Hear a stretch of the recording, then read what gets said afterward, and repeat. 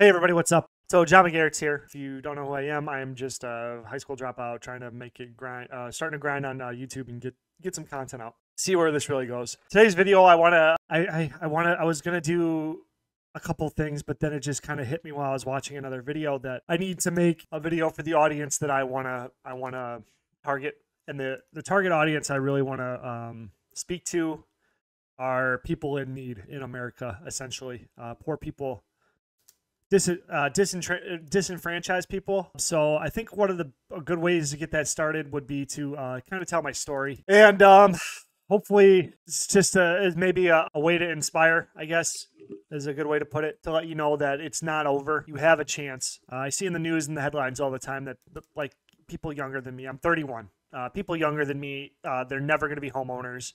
They don't have freedom. They don't have their paycheck to paycheck. They have tens of thousands of dollars in debt, fifty thousand, whatever, you know, a massive amount of debts, and they can't afford to live anywhere. So I mean, kind of, I don't really know how to frame this. I'm kind of just firing from the hip. So bear with me a second here, please. Um, so if we begin my story, I uh, was born in a city, a little suburb, and I was uh, I was born in a suburb. And my early life, I was uh, I didn't really have any friends. Really, I had you know, I lived in a suburb and I was really into video games and my brothers and stuff like that. And just kind of your stereotypical um, suburban kid. I mean, we weren't wealthy. We weren't even like we were the bottom of the suburbs. So I mean, like I've never been like I'm not saying like suburb like uh, my parents. They made decent money, I think, but I don't know. Like we always seemed like we were always on our like our last check. It always, always there was never a place of security in my life financially. So then, and hit, I hit about third grade and we get pulled out of uh, school, elementary school, to be homeschooled, and I didn't understand why, but whatever. Um, I had trouble with the school I was at anyway, so I wasn't really like pushing back on that. And then we we we, we kind of did that, but what I kind of think happened now is that my parents used that as a um, a time off where they didn't have to really keep us in line, keep us in routine to go through like a daily school or make sure we had lunches or lunch money or stuff like that. I'm pretty sure, and then use us to uh, get help get the house ready for um, the next adventure in my life, which is my my parents just kind of pulled the rug on us, sold our house in little suburb land to go buy a farm in the uh, sticks. So we moved from a town, not a big town, but it was a suburb right outside of a big city, a bigger city, and we go to a uh, farm town with like a thousand people. Uh, my graduating class was like my class was 50, 52 people, I believe. I don't remember off the top of my head. So we go to this farm.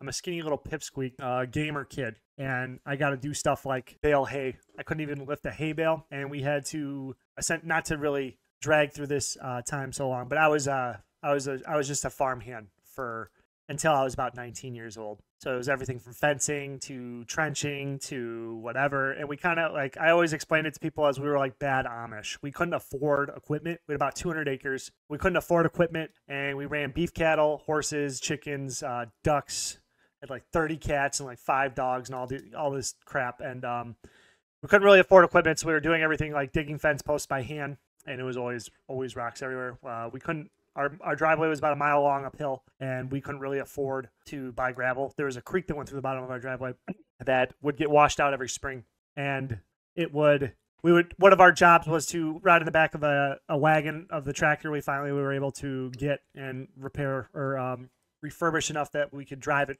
uh, a lot or a decent amount. Uh, never could use power equipment. That was uh, way always way too dangerous. But but um, we could we could always we could always work backbreaking work. So we'd have to pick these stones up, put them in a pile, and then like smash them into little pieces, and that's how we got our gravel for the driveway and stuff like that. Like long days, sun up till sundown, whatever, feeding calves before we were expected to go to school. Getting pulled out of school a lot to go chase cattle because they broke through fence, and um, we were kind of we were outsiders. We went to a small community, we were outsiders, and um, not to like race bait or anything like that, but my brother is black. So like we went to a smaller town and they it seemed I don't want to like accuse the city I'm from of this, but it seemed that they were like it was pretty it seemed pretty odd. Anyway, like and I'm not I mean I'm I'm not a I I had problems, you know what I mean? Like I wasn't like a perfect child either. I'm not not trying to say that, but we were very obviously outsiders. We were poor, whatever, you know, we were different. We were poor and different and we were from the area. It was one of those towns that had like everybody had names and stuff like that. So we were outsiders. So I didn't really have any support, you know, and I kind of like rebelled a bit and wasn't doing well in high school or school or whatever. You know, got the fed the whole um the whole talk about, you know, you need to get really good grades. You're so gifted, bro. What are you doing? You're throwing away your future if you don't get a high school or you know, so I've said this a million times. You don't get a high school diploma, you can't get a job at Hardee's. If you can't get a job at Hardee's, and it doesn't even matter if you get a job at Hardee's because it's not gonna be enough to pay your bills. So then you might as well just like not even go on living. Uh, you need to, and not only do you need to get good grades, you need to get the best grades. You need to be the best to even get grants because you're poor or whatever. That you might not be able to afford college, so you're need you're going to need to be essentially the valedictorian and become the best and be the best and get this college degree and blah, blah, blah, and all that crap. You know what I'm saying? Everybody, I'm sure everybody and their moms heard this from like their own school like school system. I'm pretty sure that's just kind of the norm of uh, the school system, but I don't really know technically. So I uh, I discover marijuana and I start uh, smoking the smoking the reefer and playing Halo. And you know, I couldn't really hang out with my friends either. My mom, my parents were very um, strict on when it came like uh, what they didn't really let us out of the house until uh, mid teenager or whatever. And oh, also, I wet the bed till I was 13, so that made it very extremely difficult for me to build social relationships at school. Um, anyway, man, that's super embarrassing. I don't know why I just said that. Whatever. I guess it, I guess it plays into my story. But anyway, really awkward angsty, angsty is that the word? Teen. School doesn't like me. I try to play sports, but I was never really pa- passing classes long enough to whatever. And like, it was one of those things where the coach, I didn't realize this until I was later, but obviously the coach is going to play the favored. We were very competitive as well. So if you weren't already like top tier athlete of our division, um, you were not played. You needed to. Um, there wasn't very much of like participation. It wasn't one of those school things where we were in a low division too, and they weren't very keen on um, letting everybody play an equal amount of time, like to to really build the students up. They wanted to win things, win, win, and win, win everything. Uh, very elite school. Very, the school too was very uh, not modern by today's standards. I see like the culture is a lot more normal with uh, hookup culture and drugs and partying and stuff like that, and TikTok and like whatever, all that other stuff. I mean, like I guess I don't really know, but it seems like it's a lot more accepted now. But that school was like, from what I can understand, if you were like going steady with a girl and you ended up like having sex in high school or something along the lines of that, you were um, you were shamed uh, by the, the the elders, the the the adults. You were looked at differently. So it was very hush hush with all the uh, things that were going on, and you know I got caught like smoking weed, and then I started drinking and partying a lot, and um, I was like now a naughty naughty boy. So then that was my last. I was no longer like mainstream accepted by uh, society. But I did start to find like a circle of people that like allowed me to be around and I could really start to bond and develop with. So I think it was about 16, 17 years old where I was really able to start really coming out of my shell and uh, becoming more of who I am and I start partying more and more and more, and I start failing more and more and more and more. And I think I did not finish high school with a 0.7 GPA, last rank in my class, and I lied to my ga- guidance counselor to get them to let me walk, so that the the the principal would hand me a, a diploma, but it was a certificate of attendance, so that I could save face. Like that mattered. Like now that I look in hindsight, I don't care. I should have just not, you know, dropped out. Should have like if I'd known what I know now, I should have just dropped out and just started working when I was 16 or something like that, or just pursued the farm. Because anyway, so yeah, so 18, I you know, 18, we all graduate. It's like the most alone I've ever felt in my life because, uh, oh yeah, the feeling I was alone was because everybody else had their families and stuff, and they're all taking pictures and uh, congratulating, and I was just kind of walking out on the lawn watching everybody uh, celebrate a very important moment while I was very much so not included um, in any of the celebration. Obviously, I mean, like, I had no, I didn't finish school. I had nothing to say, but I'm just saying, like, it really dawned on me then that I was uh, an outsider. I was a, a, loner, and this, like, that group of people were not my people, or whatever, whatever you want to say. So it was like, it was a very um, emotional and uh, um, lonely experience during the graduation, I had the ceremony, and I was the only one in the class without a matching uh, cap and gown because I, I couldn't even, I don't know if I forgot to fill the forms out or that we couldn't afford it because we were also even more poor because we went from a little house in a suburb to a 200 acre farm and a, a seven bedroom house that was like falling apart. Like when you were pooping, you could see the pe- the person below you. Uh, the holes were like the size of my face, and you could watch the person below you doing laundry, and it was uh, they knew you were pooping. That was very uh, very uh, not fun there. Anyway, it was awesome. I mean, I miss it, but it was not fun to, during the uh, experience. And um, so I, you know, I graduated or graduated, and then I remember walking out to get picked up by I think it was like like my parents didn't even bother to come watch it because they knew it was a sham. And I think like my brother or something, somebody took me home. I don't remember how I got home. I, I kind of remember it's barely. It, this is all a blur. Um, and I just remember going home, and I was supposed to come back to the library and finish these online classes and stuff like that. So I was weighing that out and decided ultimately not to because Call of Duty Black Ops 1 came out and I, I was the best Call of Duty player in the whole world, obviously. And I was chucking C4 at people and getting uh, raged at in the final kill cams, being called a hacker because they didn't understand basic mechanics. Uh, C4 and Black Ops 1 was OP. Anyway, with Flak Jacket, sorry, um, tangent aside. So then I really just spent that summer pursuing the one thing I knew how to do well, and that was play some motherfucking beer pong and drink some motherfucking beer and chug some motherfucking beer. Nobody nobody can chug faster than me. Nobody in the whole world. That's one thing. Maybe I'll post in a video one day.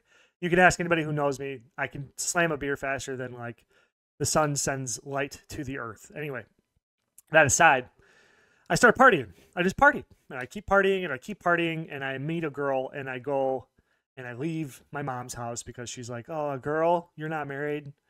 You're evil." Or I don't remember. I just left because it was it, ultimately it was just a way out, and I ended up leaving, and I went and I spent some time being a bum, uh, mooching, um, couch surfing, and then partying, and partying and partying and partying until ultimately I uh, knock a girl up. Uh, not my proudest moment, obviously. Uh, I try to go steady with her to try to make it work for about a year when we have some complications, and then we break up ultimately. So I'm on my friend's couch, uh, now knowing that my life is no longer, um, what's the word? My own. I'm re- I need, I'm responsible for other life now, so I need to start getting my stuff together.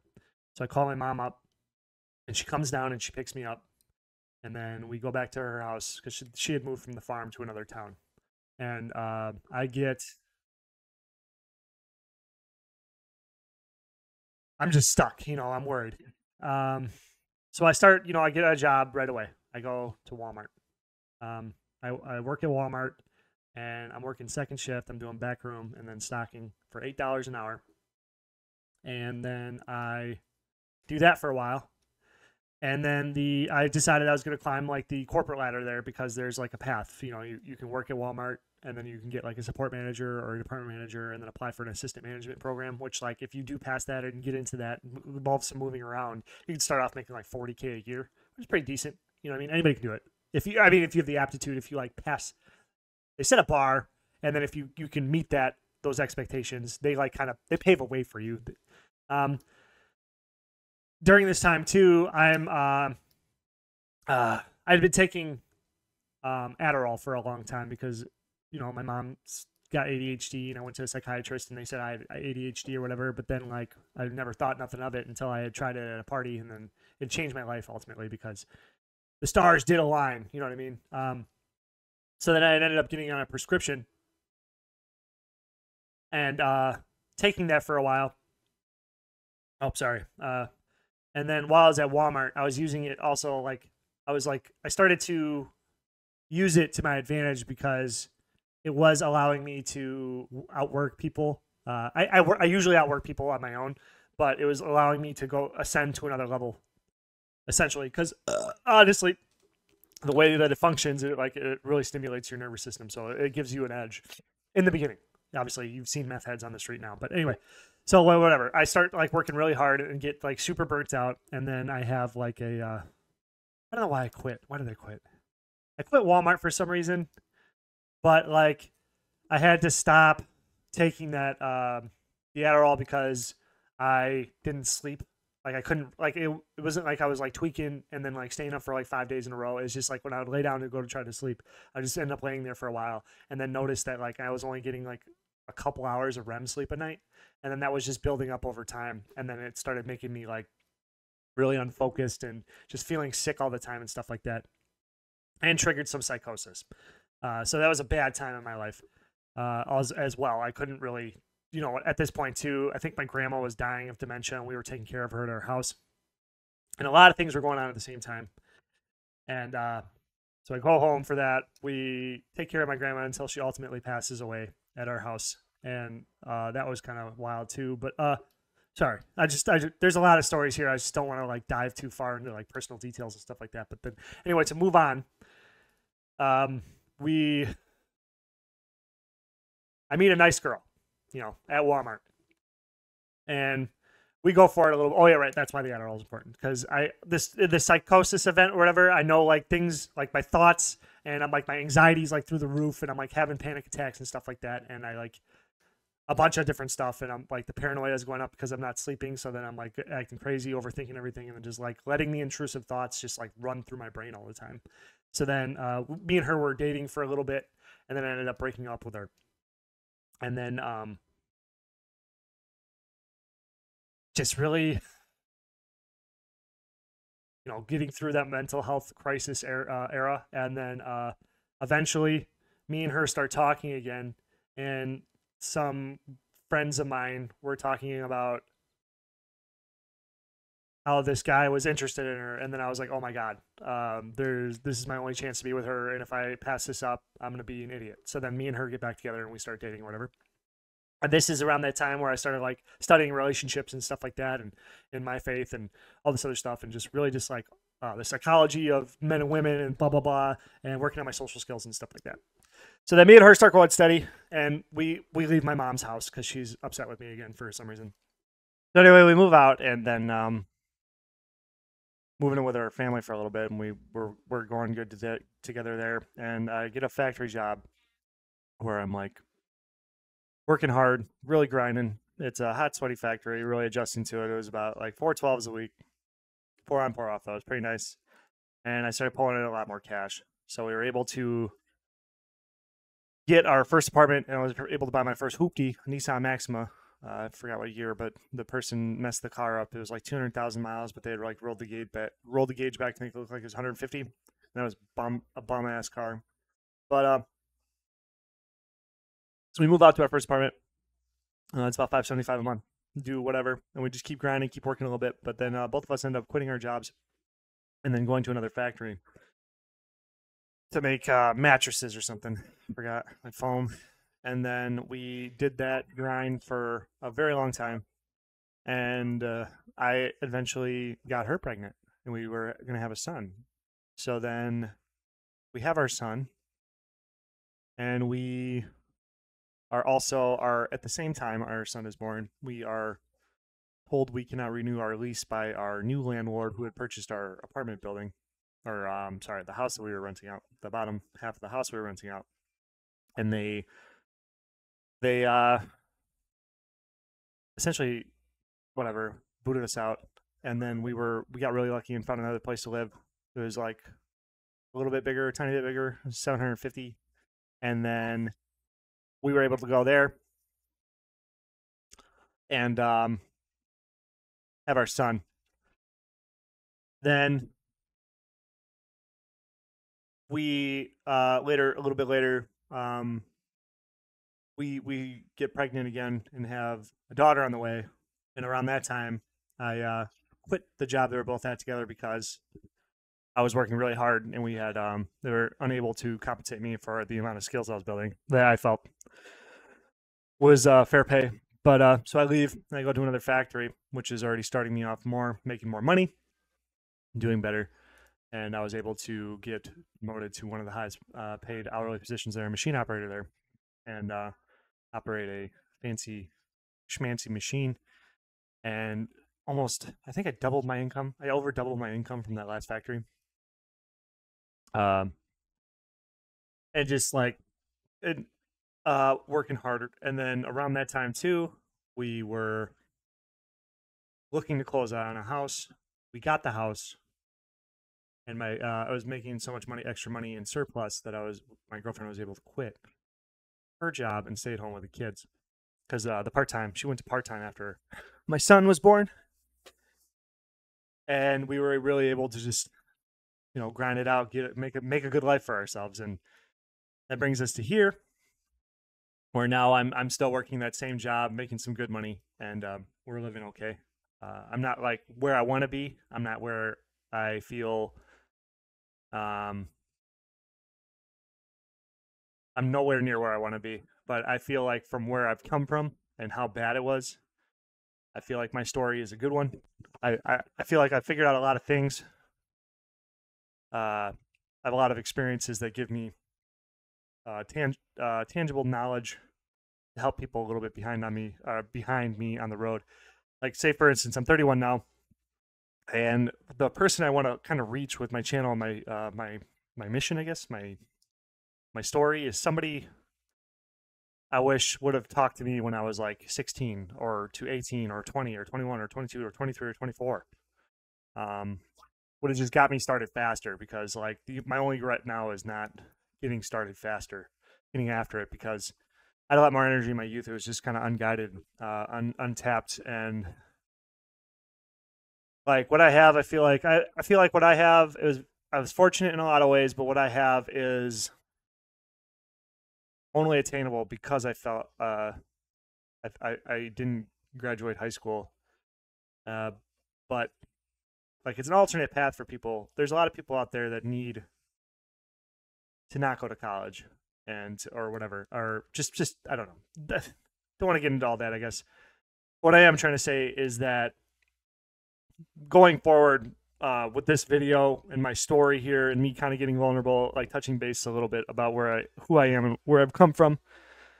Uh, I hope that adds weight to a lot of the, or some of the things I decided to speak about with commentaries and stuff like that, so that ultimately I can help people uh, bring them up to my speed. I don't know. I just I'm on the internet a lot, and you you see the news, and Gen Z is this, and millennials are that, and everybody's upset, and they they don't think the they think the American dream is dead and stuff like that. But from my perspective, uh, my life, uh, I, my life is nowhere near perfect, like I said, but it is uh, pretty dang good in comparison to what I see on the internet.